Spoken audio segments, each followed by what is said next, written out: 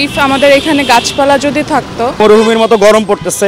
রাস্তার পরিধি বাড়ানোর জন্য হোক আর দালান কোঠা বানানোর জন্যই হোক না কেন, গাছ কাটাটা উচিত না। অসহনীয় তাপদাহে নগরবাসী যেখানে অতিষ্ঠ হয়ে উঠেছে, ঠিক সেই সময় ঢাকার রাস্তার ডিভাইডারের অসংখ্য গাছ কেটে ফেলেছে ঢাকা দক্ষিণ সিটি কর্পোরেশন। জানুয়ারিতে প্রথম দফায় ধানমন্ডির সাত মসজিদ রোডের সড়ক দ্বীপ উন্নয়নের সময় বেশ কয়েকটি গাছ কেটে ফেলা হয়। এরপর একত্রিশ জানুয়ারি এর প্রতিবাদ জানিয়ে মানববন্ধন হলে গাছ কাটা বন্ধ রেখে কাটা স্থানে সাত দিনের ভেতর নতুন চারা লাগানোর দাবি জানানো হয়।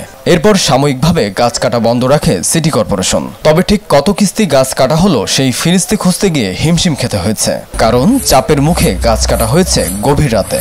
রাস্তাটির পূর্বের এবং বর্তমানকার তফাৎ দেখলে রীতিমতো শিউরে উঠতে হয়। এই যে রাস্তার পাশে যে দুই ধারে গাছ, এই গাছগুলো তো সুন্দর ছিল, ভালো ছিল ম্যাচিওর গাছ। এবং একটা সাত মসজিদ রোডে একটা সুন্দর ক্যারেক্টার দিচ্ছিল। তো এটা মানে নাগরিকদের সাথে কোনো পরামর্শ ছাড়া কোনো মতামত না নিয়ে কোনো এক্সপ্লেনেশন ছাড়া হঠাৎ করে কেটে ফেলা এটাও তো কেমন জানি লাগছে। রাতের আধারে গাছগুলো কাটা হচ্ছে এই বিষয়ে সিকিউর করা উচিত যে গাছগুলো যাতে না কাটে সিকিউরিটি দেওয়া উচিত। গাছ কাটার কারণে মরুভূমির মতো গরম পড়তেছে। আইল্যান্ডটা যদি করা হয় সেক্ষেত্রে হয়তো বা এর স্বার্থে হয়তো বা গাছ এখানে কেটে ফেলছে। এটা আমাদের সকলকে একটা দায়িত্ব দেওয়া উচিত। বাইরে এখন সবুজায়ন করা হচ্ছে।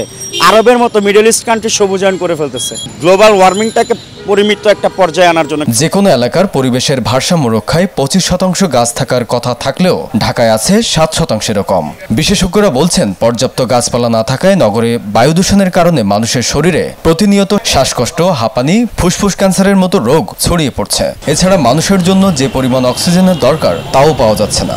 আসলে গাছ কাটা কোনো দিক দিয়ে ভালো গুণ না বা ভালো কাজের মধ্যেও পড়ে না।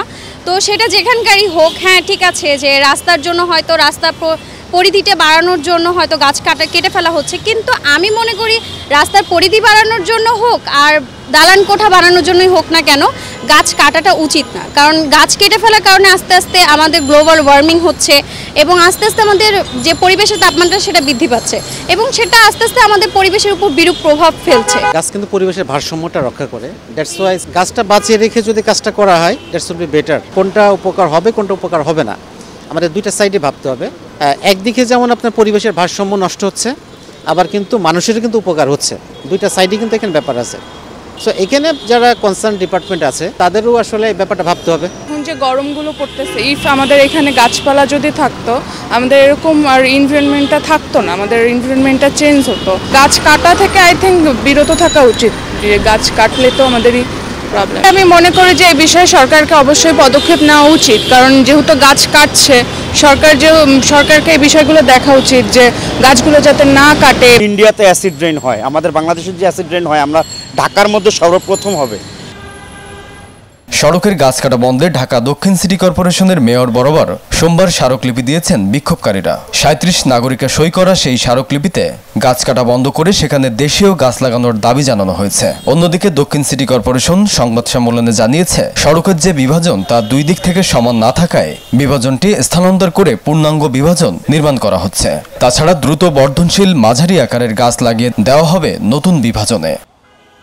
আমার নবী, প্রতিদিনের বাংলাদেশ।